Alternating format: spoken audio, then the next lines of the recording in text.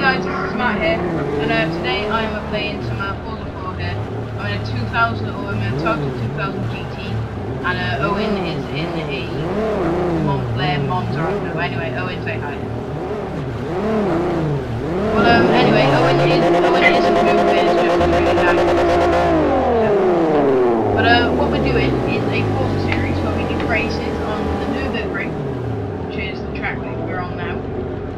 And uh, what we do is we just go around and if we win, we get two points. If we lose, we get, you know, well, if we lose, we get one point. And we're going to do it all the way up to the top series, which is, well, R1 class.